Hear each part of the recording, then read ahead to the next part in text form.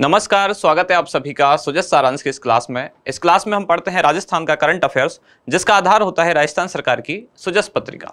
शुरुआत करते हैं हेडलाइंस के साथ। तो सबसे पहली जानकारी है नए जिलों का स्थापना कार्यक्रम। राजस्थान में अब कुल 50 ज़िले हो चुके हैं। संभागों की संख्या 10 हो चुकी है। इन्हीं का स्थापना कार्यक्रम कल आयोजित किया गया। इसी के बारे में सारी जानकारी है। तो 50 ज़िले कौन कौन से हैं? इनमें जो नए बने हैं, यानी कि जो 19 नए ज़िले बने हैं और तीन जो नए संभाग, कुल मिलाकर अब दस संभाग हो चुके हैं तो इन सभी की जानकारी हमने एक ही क्लास में प्रॉपर वे में पढ़ी थी, जहाँ कौन से संभाग में कौन सा जिला है तो उसको आज रिपीट नहीं करेंगे। आगे बढ़ते हैं, अगली जानकारी की तरफ़। ये है, राजीव गांधी ओलंपिक, जिसमें ग्रामीण और शहरी ओलंपिक जो एक साथ आयोजित हो रहे हैं अब 2023 में। जबकि 2022 में जो आयोजित हुए थे, वो केवल ग्रामीण ओलंपिक थे। अब ग्रामीण और शहरी ओलंपिक दोनों का आयोजन एक साथ किया जा रहा है। शुरू हो चुका है। दो तीन बार इसकी डेट पोस्टपोन्ड हुई थी। अब फाइनली ये पाँच अगस्त को शुरू हो चुके हैं।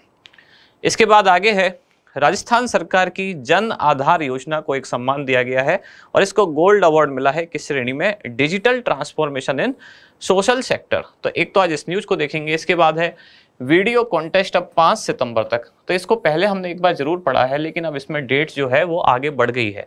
पहले ये जो जन सम्मान वीडियो कॉन्टेस्ट था, ये केवल 6 अगस्त तक था। अब इसकी जो अवधि है, पहले यहाँ लिखा हुआ है 6 अगस्त तक था। अब इसको बढ़ाकर कर दिया गया है पाँच सितंबर तक। तो एक बार आज इसको भी वापस हम देखने वाले हैं।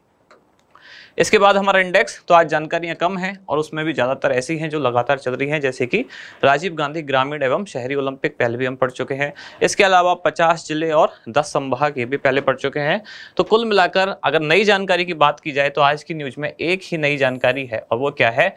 जन आधार योजना को अवार्ड दिया गया। ये भी केवल दो शब्दों की, यानी कि दो लाइन की एक जानकारी है कि अवार्ड किसने दिया और किस श्रेणी में दिया गया है। फिर जन सम्मान वीडियो कॉन्टेस्ट और इसके बाद राजीव गांधी शहरी एवं ग्रामीण ओलंपिक 2023 तो सबसे पहले है राजस्थान की जन आधार योजना को अवार्ड कौन सा अवार्ड दिया गया? किसने प्रदान किया? तो ईटी गवर्नमेंट डिजिटेक अवार्ड 2023 के दौरान राजस्थान की जन आधार योजना को गोल्ड अवार्ड प्रदान किया गया है। किस श्रेणी में दिया गया? तो ये है digital transformation in social sector इस श्रेणी में दिया गया है और अवार्ड कौन सा मिला? तो गोल्ड अवार्ड मिला है और किस समारोह में? तो ये है ईटी गवर्नमेंट डिजिटेक अवार्ड 2023 इसके द्वारा राजस्थान की जन आधार योजना को गोल्ड अवार्ड दिया गया है। फैक्चुअल से चीज़ें कई बार ऐसे पूछ ली जाती है, अभी कुछ टाइम पहले जैसे कि पालनहार योजना को मिला है स्कॉच गोल्ड अवार्ड इस तरह की कौन सी चीज़ें सिल्वर किस किस योजना को मिला है? तो राजस्थान की जो पॉपुलर योजना है, उनमें कहाँ किसको कोई अवार्ड मिला है? तो वो कई बार पूछा जा सकता है। फिर है जन सम्मान वीडियो कॉन्टेस्ट। अब इसमें यही एक नई जानकारी थी कि इसकी डेट बढ़ाकर अब पाँच सितंबर कर दी गई है। सात जुलाई से प्रारंभ हुए ये। पहले इसकी डेट छः अगस्त थी, ये पुरानी डेट थी। अब इसको बढ़ाकर कितना कर दिया है? पाँच सितंबर 2023 तक।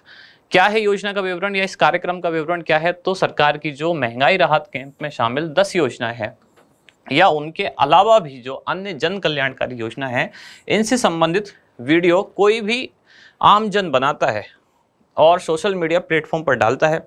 उसी का ही लिंक सरकार की वेबसाइट यानी कि Jan Samman dot Rajasthan dot G O V dot in पर डालता है। तो इनमें से कुछ जो चुनिंदा लोग होंगे, हर दिन उनको सम्मान दिया जाएगा। सम्मान स्वरूप उनको राशि दी जाएगी। प्रथम पुरस्कार, दूसरा और तीसरा, इन तीनों को अलग अलग राशि, एक को एक लाख, फिर पचास हज़ार, फिर पच्चीस हज़ार, ऐसे करके इनको। और फिर इसके अलावा सौ प्रतिभागी और होंगे जिनको हर दिन कुछ पुरस्कार राशि दी जाएगी। अब इसमें क्या क्या है? इसमें योजना की शर्तें क्या क्या हैं? तो तीस से लेकर एक सेकंड तक का एक वीडियो बनाकर जन, इस हैशटैग के साथ, हैशटैग जन सम्मान, जय राजस्थान के हैशटैग के साथ कम से कम दो सोशल मीडिया प्लेटफॉर्म पर अपलोड करना होगा। जैसे कि एक प्लेटफॉर्म हो गया जैसे यूट्यूब एक हो गया जैसे कि ट्विटर या एक हो गया जैसे कि इंस्टाग्राम तो ऐसे कोई भी दो सोशल मीडिया प्लेटफॉर्म पर अपलोड करना होगा और वहाँ से जो उसका लिंक जनरेट होगा अपलोड करने के बाद, उसको यहाँ डालना होगा गवर्नमेंट की जो वेबसाइट है जन इन आप भी ऐसा कर सकते हैं। विजेताओं को क्या क्या मिल रहा है? प्रथम पुरस्कार एक लाख रुपए, क्या पता आप में से कोई इसे जीत ले तो काफ़ी अच्छी खासी रकम है। पाँच सितंबर तक ये लगातार चल ही रहे तो आप भी ट्राई कर सकते हैं। सरकार की जो भी योजना है, उनके बारे में इकतीस से लेकर 120 सेकंड का वीडियो बनाना है। प्रोसेस क्या है, मैंने आपको बता दिया। वीडियो बनाकर सोशल मीडिया पर अपलोड करना है। कम से कम दो प्लेटफॉर्म पर अपलोड करना है। वहाँ से जो लिंक जनरेट होगा, वो फिर गवर्नमेंट की वेबसाइट पर अपलोड करना है। अगर आपने फ़र्स्ट प्राइज जीता तो आपको एक लाख रुपए मिल जाएँगे। दूसरा प्राइज जीता तो पचास हज़ार मिल जाएँगे। तीसरा पुरस्कार जीता तो पच्चीस हज़ार मिल जाएँगे। और इसके अलावा हर दिन एक एक हज़ार रुपए के भी सौ पुरस्कार दिए जाएँगे। तो जिन लोगों को रील बनाने में इंटरेस्ट है, वो इस तरह की बनाएँ तो उनकी अच्छी खासी इनकम भी हो सकती है। एक लाख रुपए अगर आप जीतते हैं तो काफ़ी अच्छी खासी सहायता हो जाएगी। प्रतिदिन विजेताओं को पुरस्कार इसमें प्रदान किए जाएँगे और कॉन्टेस्ट में भाग लेने के लिए जन आधार पंजीकरण आवश्यक है। ये सारी इसकी शर्तें हैं। जन आधार आपका पंजीकृत होना चाहिए। प्रतिभागी का स्वयं का बैंक खाता होना चाहिए, जो कि जन आधार में पंजीकृत हो। अगली योजना है, या अगला कार्यक्रम जो आज की न्यूज़ में है, राजीव गांधी शहरी एवं ग्रामीण ओलंपिक, जो 5 अगस्त 2023 को शुरू हो चुके हैं। 18 सितंबर तक ये संचालित रहेंगे। इसमें लगभग अट्ठावन दशमलव पाँच एक लाख खिलाड़ियों ने पंजीकरण कराया है। कौन कौन से विभागों द्वारा आयोजन किया जाएगा? तो खेल विभाग, शिक्षा विभाग, पंचायती राज एवं ग्रामीण विकास विभाग, स्वायत्त शासन विभाग और स्थानीय जिला प्रशासन जिस ज़िले में भी आयोजन हो रहा है, इसके अलावा खेलों के संचालन के लिए अलग अलग समितियों का भी इसमें गठन किया गया है। तो इन सभी के द्वारा सम्मिलित रूप से इसका आयोजन किया जाएगा। कोई केवल एक विभाग नहीं है, क्योंकि बहुत बड़ा आयोजन है। अलग अलग तरह के इसमें अलग अलग उम्र के भी इसमें प्रतिभागी शामिल होंगे। तो अगर स्कूल से शामिल होते हैं तो शिक्षा विभाग अपने आप ही होगा शामिल। ग्रामीण क्षेत्रों से अगर लोग शामिल होते हैं तो पंचायती राज, ग्रामीण विकास विभाग, शहरी क्षेत्रों से स्वायत्त शासन विभाग, जिस भी ज़िले में आयोजित होगा कोई भी कार्यक्रम तो जिला प्रशासन अपने आप ही उसमें शामिल हो जाएगा और खेल विभाग का तो पूरा प्रोग्राम ही है। इस तरह से इसमें बहुत सारे डिपार्टमेंट इन्वॉल्व हैं। कुल बजट रखा गया 130 करोड़ रुपए, जबकि ग्रामीण ओलंपिक 2022 का बजट कितना था? 40 करोड़ रुपए। क्या इसमें कोई आयु सीमा है खिलाड़ियों के लिए? तो इसमें कोई आयु सीमा निर्धारित नहीं है। सभी आयु वर्ग के खिलाड़ी इसमें पात्र होंगे। कौन कौन से खेल शामिल हैं? शहरी क्षेत्रों में सात खेल शामिल हैं। Athletics, kabaddi, tennis ball, cricket, volleyball, football, basketball और खो खो दो खेल ऐसे हैं जो केवल शहरी क्षेत्रों में शामिल हैं। कौन कौन से? एथलेटिक्स और इसके अलावा बास्केटबॉल बाकी के ये पाँचों उधर भी हैं। उधर यानी कि ग्रामीण क्षेत्रों में कौन कौन से खेल हैं? Kabaddi tennis ball cricket volleyball football shooting ball या शूटिंग वॉलीबॉल खो खो और रस्सा कसी यहाँ ऐसे दो खेल कौन से हैं जो केवल ग्रामीण क्षेत्रों में हैं तो वो हैं रस्सा कसी और शूटिंग वॉलीबॉल दो खेल यहाँ नए हैं और दो खेल शहरी क्षेत्रों में या शहरी ओलंपिक में नए हैं। इसके बाद किन स्तरों पर खेलों का आयोजन और कब किया जाएगा? तो ग्राम पंचायत स्तर पर होगा पाँच से लेकर दस अगस्त। दोनों ही जगह, यानी कि ग्रामीण में भी और शहरी में भी, शुरुआत सेम डेट को है, समापन भी सेम डेट को है। यहाँ भी पाँच अगस्त से शुरू है और अठारह सितंबर को समाप्त है और यहाँ भी। तो ग्राम पंचायत स्तर, ग्रामीण क्षेत्रों में चार स्तर हैं। पहले तो आपको यही याद रखना होगा अंतर दोनों में। यहाँ चार स्तरों पर आयोजन है और यहाँ पर तीन ही स्तर हैं। कौन सा एक स्तर है जो यहाँ ज़्यादा है? वो है ब्लॉक स्तर।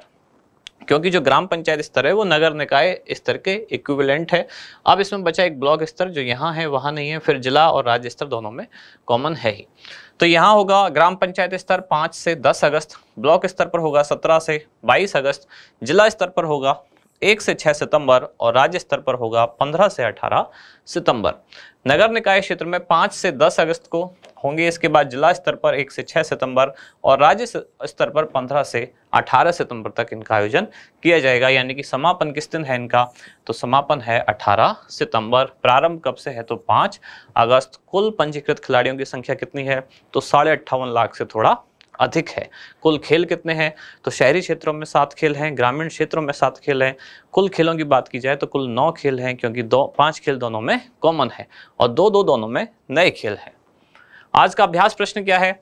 राजस्थान सरकार की किस योजना को digital transformation in social sector श्रेणी में ईटी गवर्नमेंट डिजिटेक अवार्ड 2023 के दौरान गोल्ड अवार्ड प्रदान किया गया? ऑप्शन है आपके पालनहार योजना जन आधार योजना, मुख्यमंत्री अनुप्रति कोचिंग योजना या फिर चिरंजीवी स्वास्थ्य बीमा योजना। तो क्या होगा उत्तर? बताएँ आप कमेंट्स में। अब मिलते हैं कल अगली न्यूज़ के साथ। अगली क्लास में धन्यवाद।